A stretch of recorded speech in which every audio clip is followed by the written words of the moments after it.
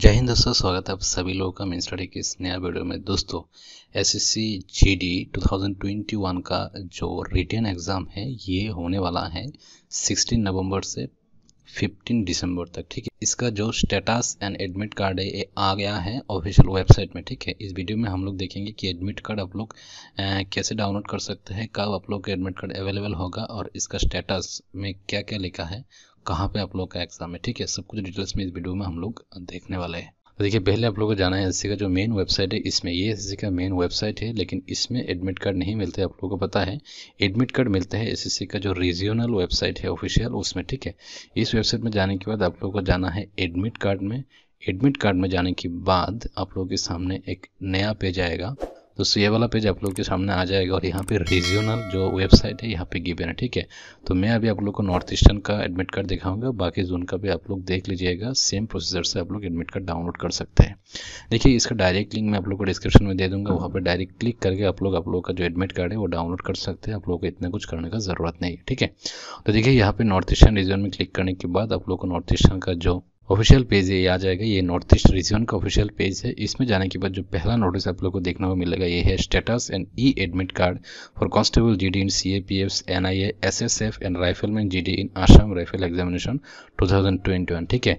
इसमें जाने के बाद यहाँ पे क्लिक करना है। क्लिक करने के बाद एक लिंक आप लोग के सामने आ जाएगा। ये लिंक मैं डायरेक्ट डिस्क्रिप्शन में दे दूँगा, नहीं तो टेलीग्राम चैनल पर मिल जाएगा। वहाँ पर डायरेक्ट क्लिक करना आप लोग के सामने पूरा एडमिट का पेज आ जाएगा, ठीक है?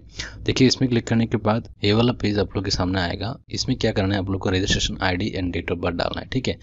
रजिस्ट्रेशन आईडी और डेट ऑफ़ बर्थ यहाँ पर डालना है, फिर क्लिक करना स्टेटस एंड एडमिट कार्ड में। अगर आप लोग रजिस्ट्रेशन आईडी याद नहीं रख पाए, भूल गए तो आप लोग यहाँ पे रोल नंबर और डेट ऑफ़ बर्थ डाल सकते हैं। अगर ये भी भूल गए रोल नंबर क्या है और डेट ऑफ़ बर्थ क्या है, फिर भी आप लोग के सामने और एक ऑप्शन मिलता है यहाँ पे।